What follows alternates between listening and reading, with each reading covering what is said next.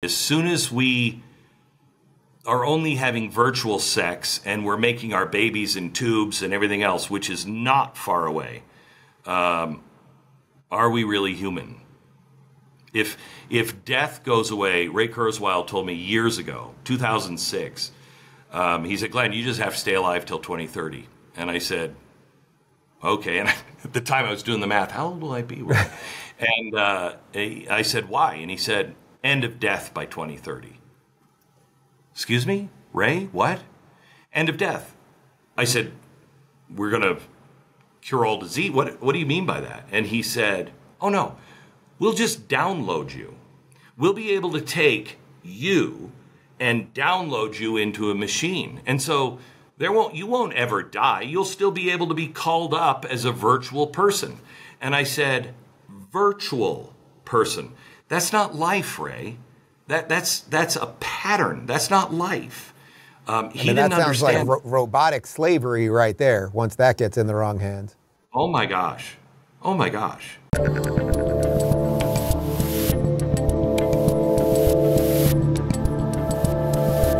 I'm Dave Rubin, and joining me today is the founder of Blaze TV, host of the Glenn Beck program, and author of the brand new book, Dark Future Uncovering the Great Reset's Terrifying Next Phase my old friend Glenn Beck, welcome back to the Rubin Report. How weird is that that I'm your old friend? Seriously. I mean, I am old and I'm your friend, so I don't know if you meant it as my old friend or somebody I've known for a long time, but I'll take it either way. My old ideological opponent who became my friend, who's also older than me, Glenn Beck. Thank you. I need specifics, Dave. I I live in a world of specifics, you know that. Glenn, it is good to see you. We have not done anything on camera for, I don't know, probably about a half a year or so, so I want to catch up on a bunch of stuff. But you, as if the title of the book, Dark Future, isn't Terminatory enough, scary enough, etc. You said to me right before we started, since we are holding this for just a little bit because people know I'm off the grid right now, you said to me, What if I'm dead by the time we post this video? It's an odd way to start a show, Glenn. Well, I didn't start the show that way. I said that off the air. You started the show. Again, oh. let's be specific about things. Uh, but it that's why weird, you're in the Broadcast it? Hall of I mean, Fame. Dave, this could be the biggest show ever if I die before it goes on. It would be huge. In fact, let me know the week that it's on, and I'll fake. I'll just disappear. I'll just wow. disappear, and I'll be around for like two weeks, and you can say, you know, what's weird about him disappearing is he might be dead. He predicted it on my show. Yeah. Not that not that you need any help selling books because because how many books is this for you and your books i mean like flattery aside like every book you sell seems to sell more than the other and you've done the all the lists and all the stuff uh, how many books have you written at this point?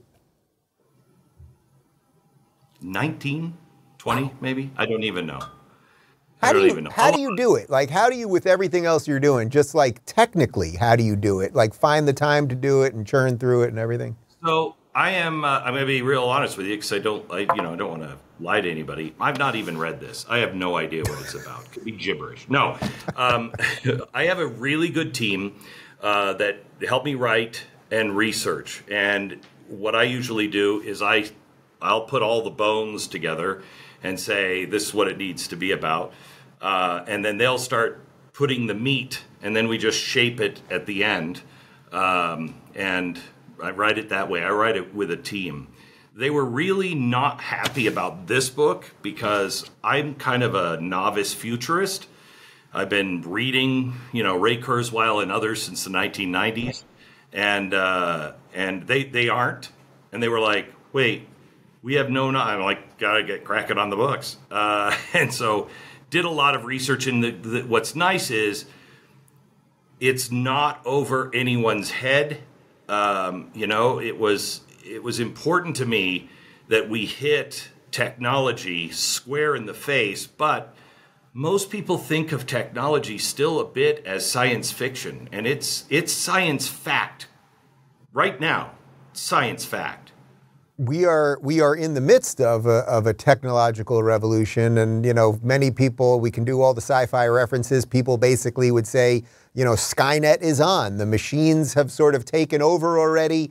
The amount of people that will see this very video, it really is beholden to algorithms and machine learning and God knows what else.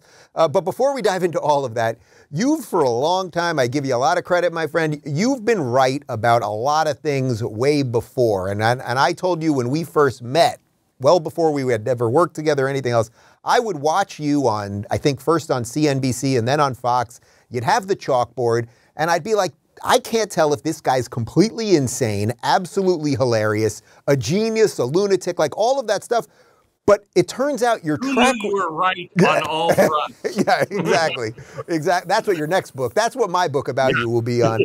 Uh, but but in essence, though, with all of the the blackboard stuff and pointing to okay, here are the people doing this, and this is what's going on here you've pretty much been right within within like a certain set of limits. You've been pretty much right about most of the stuff. I'm really wrong on timing. Um, that's where I really get it wrong. Um, however, it's not hard to figure it out. It's really not. Um, I, I, will tell you anything that I got right. Uh, I think comes more from God than me. Anything that I got wrong is definitely me. Um, but uh, it, you have to just take people at their word. And the first time that I was really right about something kind of profoundly scary was September 11th.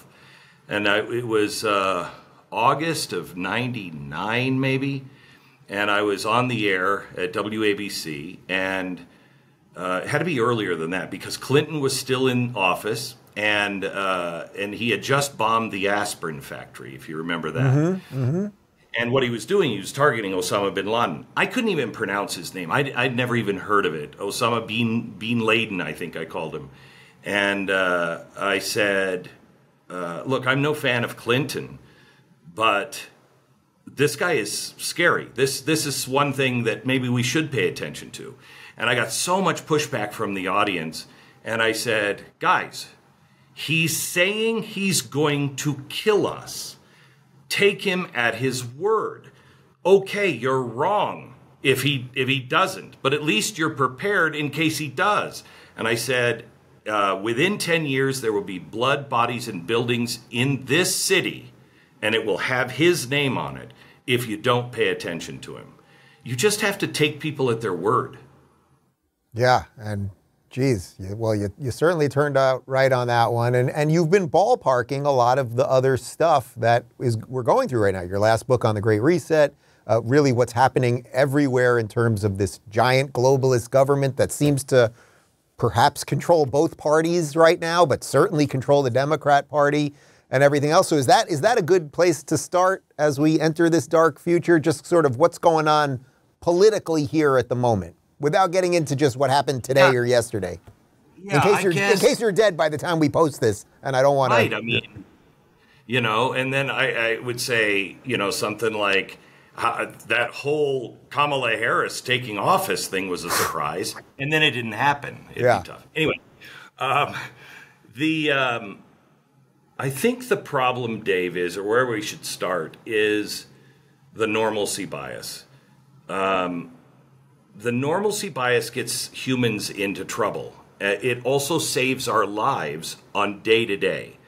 On day to day, you need you need um, you know we we are we are a, we have trained ourselves to look for dangers, and if we were looking for dangers, we would find them all the time, and we'd be freaking out all the time. So we have what's called the normalcy bias that kind of fits into the normal pattern, so I got it. And so you don't even really think of that threat, um, you know, in your frontal cortex. So on September 11th is a great example. What happened there was a lot of the people that could have gotten out were making their way down the stairs out of one of the towers, and then they turned around and went back up because they had to turn off their computer, they had to they forgot their purse or whatever they just assumed they were coming back um, because it, was too big to handle an airplane going through their building. They, they, it just it didn't compute.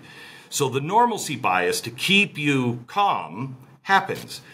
That's what's happening in our world today. People are just pretending, and I think it's natural, that all of this is normal and it will it's still within the normal parameters and so i don't nothing's really going to happen. And that is we are right now in the stairs of the twin towers and it's coming down. You just have to prepare and be aware of it. Otherwise it's chaos and panic you know it's so it's so interesting to me that you're framing that it that way because you know I'm very proud to say that when when COVID happened, I was very early on on being skeptical. Like once the the 15 day thing hit, when they said 15 days to stop the the spread, on day 16 I was basically done. And the reason I was done is because of a word that you just said. Everywhere, every news organization, every commercial, every uh, public service announcement kept saying the new normal. It's the new normal. And I was like, wait a minute, wait a minute. You guys just told us 15 days will be good to go, and then overnight, the new normal. So, so that has something I think to do with another word you mentioned earlier about timing. That these things sort of happen in a way where we don't realize how much we're giving away as we're giving it away. Because we are geared to safety in the herd. And that's why the individuals, the preppers, and everybody else the people who have already made a move to a safer area or one with a stronger community sense, they're the ones that are going to survive. I mean, Dave, I think I asked you at one point, maybe a couple of years ago, at what point do we realize, or at what point do we become the German Jew that just kept saying, it, it's not going to get worse than this? Uh, I mean, it may not get worse than this. I pray to God it doesn't get worse to this. But we are we're traveling the same road. I mean, if you look at the Weimar Republic, the Weimar Republic went through this exact same thing. It it had its September 11th, it had the Second World War. All the churches were like, we're righteous, we're going to win, don't worry. It dragged on, humiliated, bankrupt the uh, country. Then the younger group, the older group, didn't recognize their country anymore, and a younger generation came in, and a lot of the power flipped from the older generation to the 20 and 30 year olds. Then they got rich because during hyperinflation, they weren't married and didn't have to run out to the store. They could invest it. So they got rich. Um, and then like crazy promiscuity. I mean, it became Babylon. Berlin became Babylon. And most people don't know that in 1925, the first trans surgery happened in Germany. Wow. Yeah. Uh, he had several surgeries from 29, from 25 to 29. He died when the final surgery put a uterus in him. Um, but the scary thing is, Dave, on both sides, and I want to, I really want to spend a little time making sure it's very clear on this. The first books to be burned were the LGBTQ books that were being put in schools. Pedophilia had started up, and all of the stuff that we're experiencing right now, where there was just a, a disengagement from reality and right and wrong. Uh, and so by 29 and 30, the churches, which were dead inside, they were just righteous but not Christ-like at all. Mm-hmm. Um, they they were starting to ring the bells. The Nazis came in. The first book burnings were from that literature. The first people in the concentration camp were were generally gays, anyone who uh, was said that they were trans, any of that stuff. They were the first. This should be a very big warning to both sides. One, anyone who says you're a Nazi for being against these, you're book burning. I honestly don't think they know history, but I do. And that should wake all of us up. If we don't know history, we will repeat it. So they have a reason to say, hey, Nazi, you know, back off. We have to be very careful. Do you think it's baked in that we repeat it no matter what? That this is just what the human hmm. experience is, and that we cannot, to some degree, as, as a society, we cannot escape these mistakes that we seem to make over and over and over again because of the slow motion nature of some of this? I don't think it's inevitable, but it sure seems uh, very, very likely. I mean, I, I remember reading, I remember reading the Bible. You first read the Bible and you're like, okay, and they destroyed themselves. And then you read three more pages and it's a new society, and you're like, wait a minute, you're doing the same thing these Same guys thing. were just doing. Right. And you're like, hello? I mean, it wasn't that long ago. Look at this is it. This is how it happens. Um, and we're living it. Um, I don't think it's inevitable. I think we can change it. I think, you know, people are just more likely to go along with the flow until it's just unbearable. And at that point, you know, I, I, I, I'm doing an art workshop up at my ranch, and I've got these great artists from all over the world. Some, if I were walking with some of these guys in India, people would stop us. Uh, but we have these great artists, and we're painting and painting things that we want to do, but push us beyond our limits. And I, I want to tell the story of Raoul Wallenberg. I won't tell it; it's a long story, but um, it's. We'll- uh, we've discussed it on the show before. I'll, we'll link to the previous discussion on Raoul Okay. Wallenberg. Yeah. um, but he's fantastic, and I'm inspired by this this painting of this woman and man, and she's all in her mink and everything, and he's in a top hat and tails, and you can see behind them all of the theater postings. They were going out to the theater, and then a cop coming down the stairs, and it's shot on the shot of them, and the two faces. She is just really like freaking, and he looks like. I can't believe this is happening. And the name of the painting is Friedrich. Closed? Do you know what that means? And I think a lot of people are going to kind of come to that point who are, wait, wait, because we're already going down that way. I'm a terrorist for speaking out at my school board? Do you know what that means?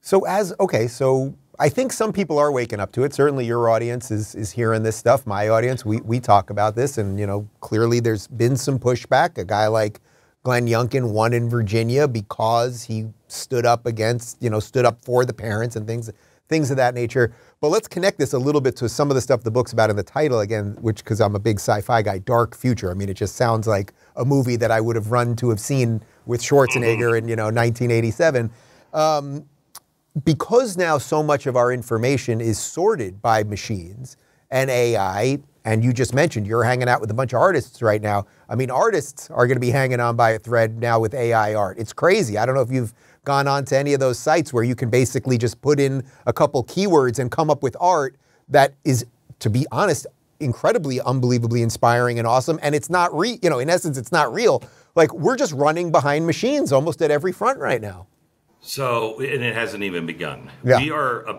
we are now at the very beginning of what's called the fourth industrial revolution. The fourth industrial revolution is going to take the the first industrial revolution began in 1760, 1770 somewhere in that. So, imagine what life was like in 1770. You're still crapping outdoors. There is no such thing as a sales manager. Um, uh, you, there's no electricity. It's not great. Uh, all of the changes from the first industrial revolution till about 1880, where we discover electricity and we get refrigeration and lights and everything else, to the uh, to the information age and the space age. Then the third is the technological uh, difference and the information age really kind of coming together all of that from 1770 to about 2020, that whole change, that kind of an impact is going to happen in the next 10 years. And the displacement is going to be uh, beyond understanding. The problem is, we could make this, we could absolutely make this if we had governments anywhere in the world telling people the truth. Right. They're telling you about climate change. That's bullcrap, and even if it isn't bullcrap, it's at least a hundred years away. Okay, and we could technologically figure out ways to to um, best it in the end. Man will survive. But what they're not telling you is your life is about to dramatically change to where the uh, people like Yuval Noah Harari is uh, the, he's talking about useless classes, millions and millions of people in a useless class that can't do anything but eat. Um, what, gee, what, do you make? I, uh, let me pause you there for a second, because what do you make of a guy like him? He's big, sort of in the WEF circles, and a lot of people hate him. But in an odd way, you just said he's telling us a very dark truth that there oh, will. He is. Yeah. He is absolutely right. You need to pay attention to him, but uh, let's not take any final solutions from him. right. Uh, you know, it doesn't. You know, you can be right diagnosing the problem. It doesn't make you right uh, in the solution. Sure. Um, and he is he is with too many people that I mean, this is very Malthusian. What's happening at the WEF? Um, you know, everybody still loves George Bernard Shaw for some reason, but he's the guy who first came up with the gas chamber. He's the guy who said there's got to be an easier way to kill groups of people because they're not useful to us and they have no reason to live. Um, thank you. Thank you, America's greatest playwright, um, but, uh, or English playwright.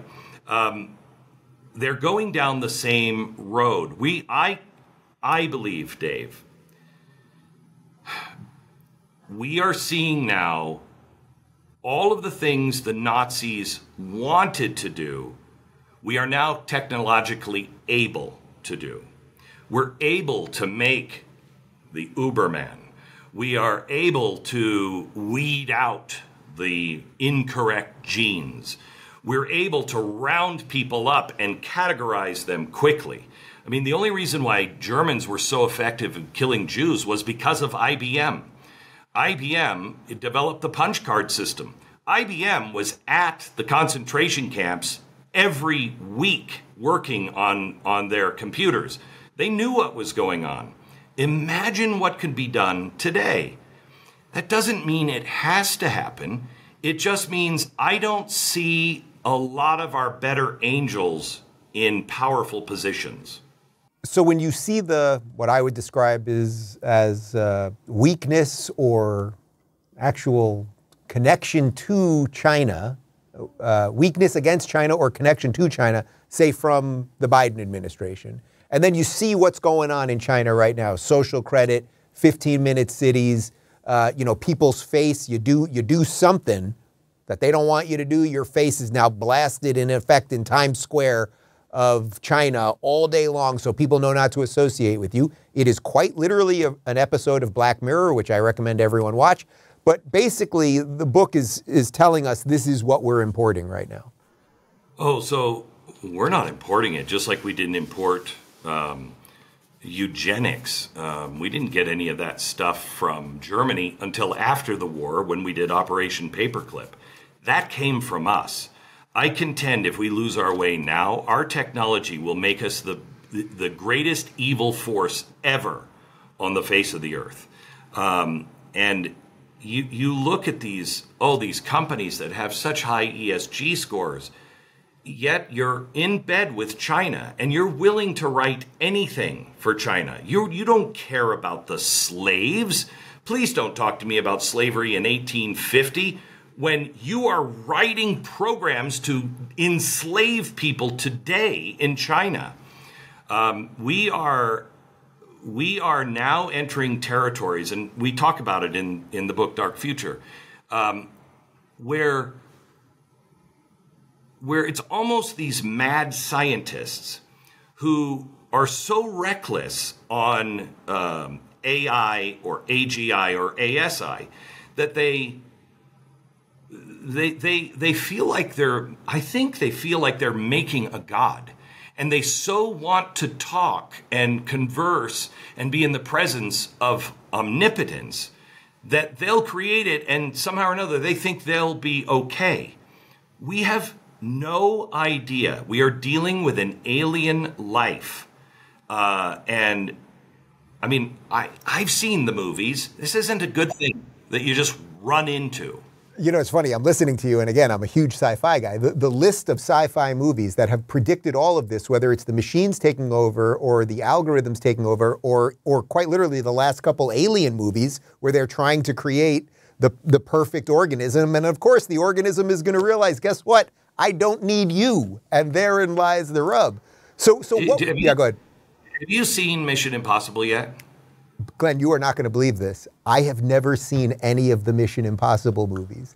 It ju- it's so funny you ask me that. wait, wait, wait. Do you like The Princess Bride? Yes, I love The Princess Bride. I was going to have to question our whole friendship. Oh, oh, oh. Inconceivable. no, of course. I, something happened. You know how sometimes in life you just get behind on one and then Yeah. mission, and then it was Mission Impossible 7 and I was like it's too late for me. What can I do? It's not. It's not. It's really, Dave. It's it's uh it's kind of like uh, what's that stupid car movie? Oh, Fast and the- Furious. I've never seen any of those. Yeah, I've seen one. I think I could pick it up at what 23, and I'd still get it. Um, I but know anyway, I know they're doing something very fast and they're pretty pissed about it. Yeah, they're mad. Anyway, um, so the uh, uh, Mission Impossible talks about uh, a ASI. Do you, should I explain the difference? yeah, yeah, I think it'll help for the audience, yeah. So AI is actual ANI. It's um, artificial narrow intelligence. It's intelligent on one thing. Right. I'll beat you at chess every time. You want to play tiddlywinks? I have no idea. Yeah. Okay, so I'm very narrow. That's what we have right now. We are natural general intelligence. We can do many things, talk about many subjects, be good in many things, and iffy in other places. But generally, we can do an awful lot of things. We don't have that yet. This ChatGPT um, large language model is the first one that is taking us into this realm, and it's extraordinarily dangerous. It is miraculous and dangerous. Well, it's it's incredibly highly biased, which which basically we found out the day it was sort of widely launched, which was fairly obvious to anyone that's again seen any sci-fi movie. I have said for 20 years do not fear the machine, fear the people programming the machine. Yeah. Um, so the next step is AGI. That makes a, a computer as wide ranging as a man. And the, the, the difference between AGI and ASI, artificial superintelligence, we're not really sure, and I'm not sure it matters. Some people say we'll never get there. I believe we will. I believe we will shortly, as soon as it's online. Um, uh, when you know when you get to a point, and I believe this will happen in the next two years, you will soon have an assistant that is digital on your phone. The minute it is loaded on your phone, it will know everything about you. It'll get all of the data from everywhere. And so it will know you and it will adapt to you as you go. And this will be unlike, you know, Siri is the worst. Yeah, You know, yeah. Siri, where's the fire extinguisher? I found this on the web, and it's something. No. Okay, stop, Siri, stop. Then scroll down and turn Stop. Oh my! Look, you gotta Siri. love it. Oh my gosh. So anyway, um, End communication. yes, and communication. This is something that you will believe is real, is and it will connect with you personally. It will serve you. It will it, it will become your best friend if you let it. And it's a machine. And I'm telling you, Dave, we're two to three years away from people saying, no, you cannot turn that off. You can't. That's mine, and they are real. That's that's a person to me. Once that happens, the whole world changes. Um, we are also an, a society that has become a society that is reliant on experts. Um, look where the experts have gotten us. Okay, the experts have gotten our families to be, our kids to be in the highest suicide rate. All of these things they never have to account for when a machine, when AI is said to be infallible, which will happen very soon, who's going to argue with it? How do you argue with it? How do you justify saying, "No, I'm not going that way? Ray Kurzweil told me, well, people will just go. I'm like, I, I probably won't, Ray. I probably will want to be, you know, remain natural and stupid. And he said, Well, you would be a danger to society. so now, now oh. I've gone from a useless person to a person who is dangerous to society because I can't keep up. Where do you think that goes? You know, it's so interesting because after three years of COVID and the craziness around mandates and vaccines and everything else, you really could see it in a very clear way how we're five years from now. They've got everybody just basically locked in the matrix, you know, one way or another through their devices or everything they're doing online and all that stuff. And then the few people who don't want to join, they, as exactly as saying, they have to then be considered the enemy because what are they up to that they don't want to be in the same system that we're in? And then we've found an awful lot about what the way we would treat people who don't want to do things the way we want to do them. Man is, you know, progressives believe that man progressively gets better. Um, realists know that progress is 100% individual. If the individual progresses throughout his lifetime, that's an individual choice. And if enough of them are progressing as individuals spiritually, philosophically, then the society will progress. But once they die, it's a new choice for new little babies to start from the beginning. Um, we, we don't progress per se, and I think we will find out in, in record rate how uncivilized we really are when we are lacking energy, lacking food, whatever it is, we're still animals. How worried are you that even if the machines aren't taking over and, and literally exterminating us, that just what they could do in terms of what guys like you and I do for a living, just try to translate the insanity into something sensible for people, that that will be so cordoned off, maybe we're there already, that you will rarely ever meet anyone on this planet who thinks the same things that you do, or even roughly the same things, meaning that we will have all been so atomized and manipulated through algorithms and everything else, it will be impossible to agree on anything. So I don't fear the machine first. I don't think the first step is it takes over. I think that's a, a longer process, and I'm not sure how that happens, if that happens. Um, I do know that it becomes more and more powerful. Um, and with that power come people and people who are in charge of that power. Um, I, I think the dystopian world of even possibly 2030 is that you don't go anywhere. Dave, you and I talking to each other.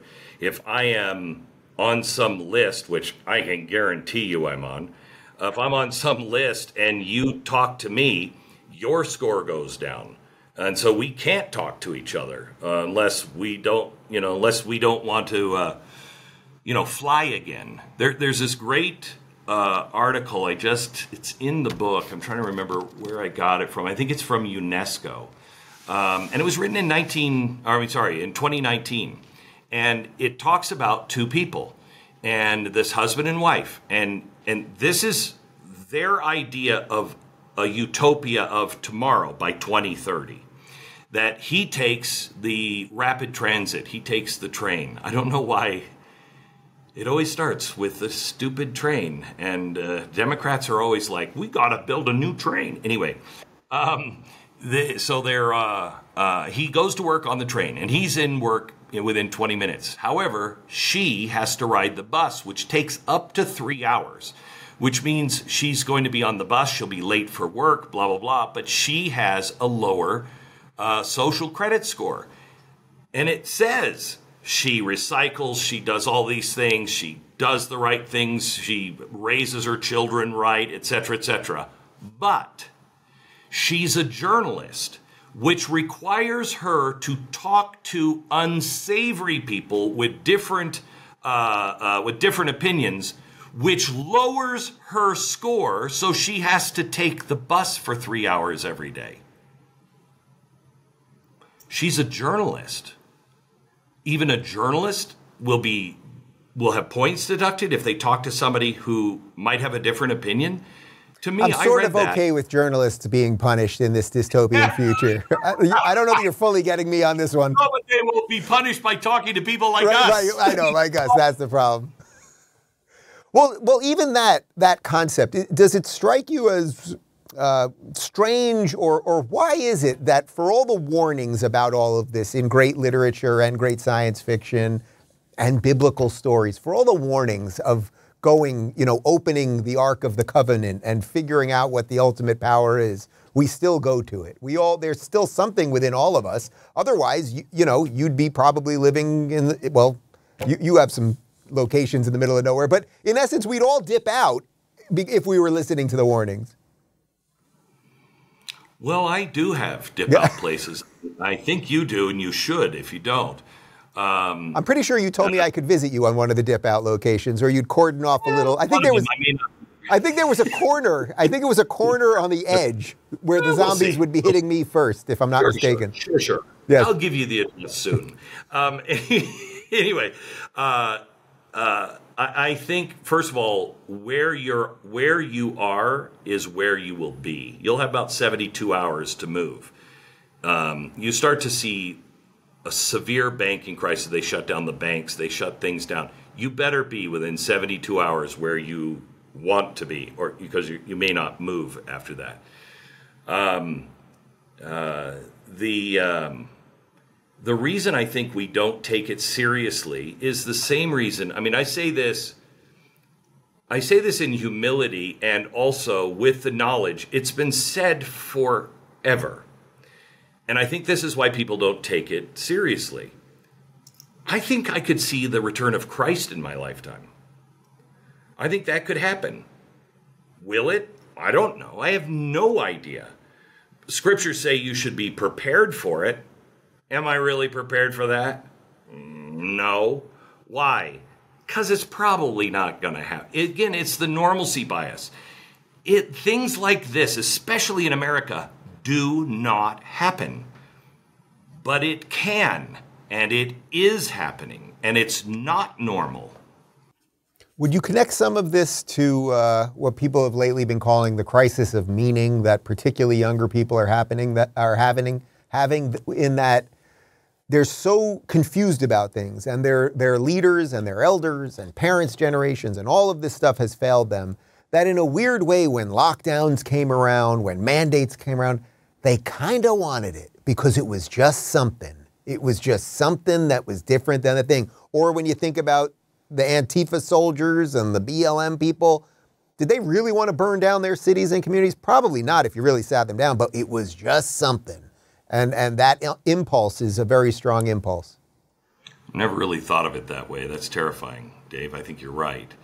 Um, I I think there's going to become. I mean, you can't put the kinds of people out on the street, and we're talking 30% by 2030. Unemployment double that of the Great Depression, and it's never coming back. You can't put those kinds of people out on the street and expect things to go well.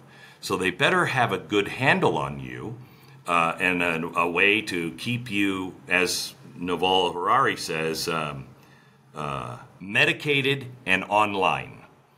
Um, so I, I think that there's going to be a couple of things could happen if we're really fortunate.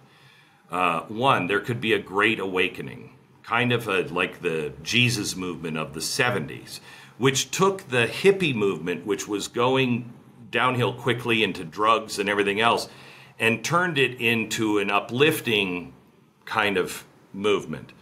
Uh, the Jesus hippies. There's a chance that life be, has become so meaningless in a way that it did kind of in the 1960s that we will find meaning again.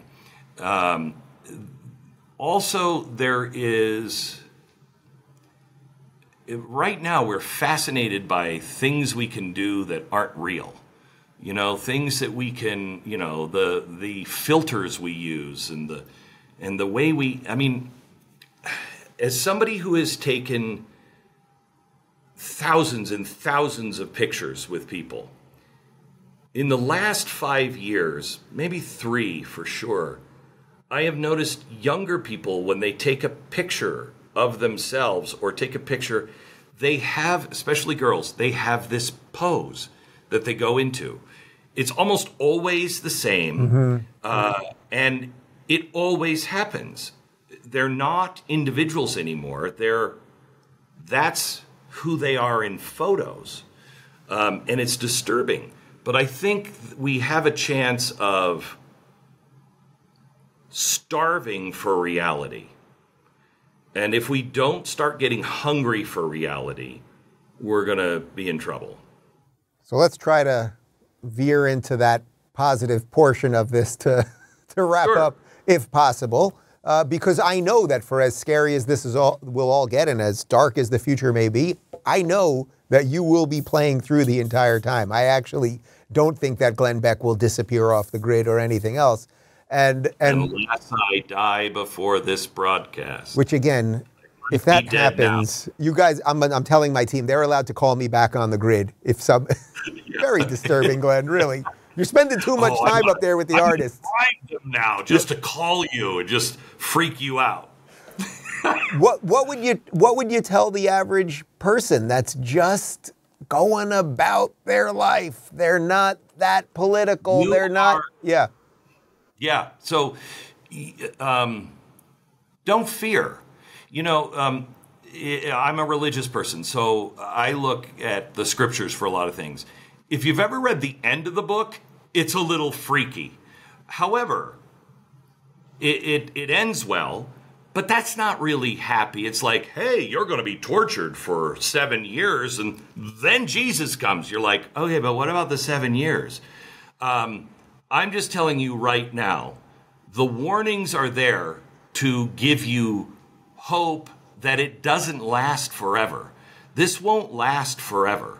Um, this is this is uh, as they say about inflation, transitory.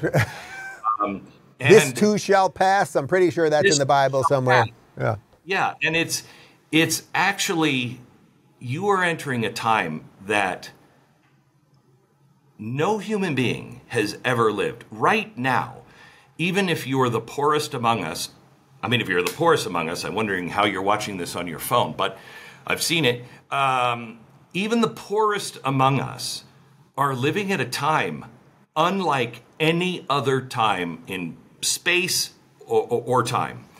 And what an honor. The things that you're going to see, the technology, you know, technology is not all bad. I'm a fan of technology. Yeah, Um, I just feel we are running into headlong into trouble because of arrogance. Um, but you're going to see miracles on the horizon. You will see uh, disease, much of it wiped out, possibly by 2030. Um, you're going to see intelligence and design, and you worry about global warming? Wait. The, the, the technology, when we get to quantum computing, will figure things out in about five minutes, maybe five minutes. Um, And Elon's also- trying to get interplanetary life going. So th- there's all sorts, And and, that will most likely happen within both of our lifetimes. Right. The only thing to truly be aware of that is game changing ending is what Stephen Hawking talked about. And I do believe it's a real possibility.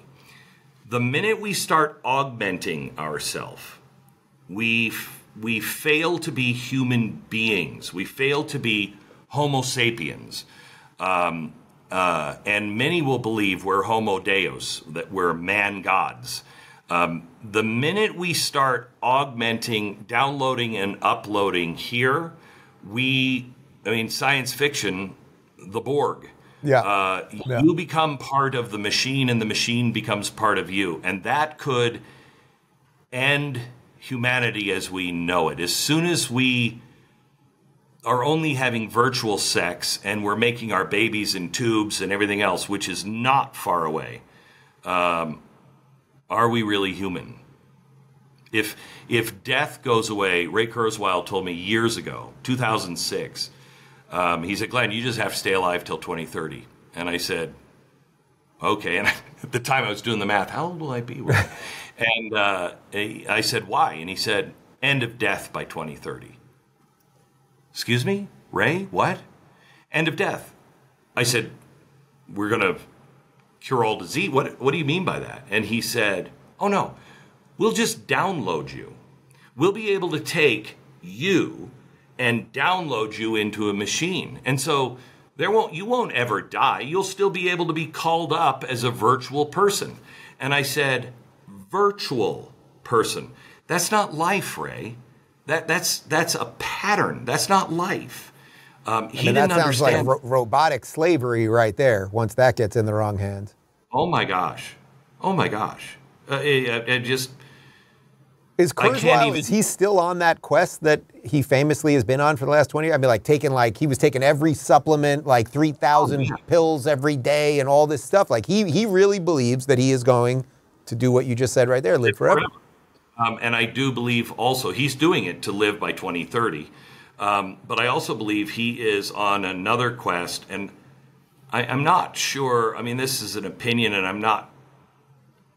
I'm not saying this to accuse him of anything, but I think he's trying to recreate his father. Um, his when his father died, he started collecting every bit of data he could find about everything that he experienced. And I, I do think there's something weird uh, going on, almost a Frankenstein thing with him. I could be wrong. And I like I like Ray a lot. I've talked to him several times.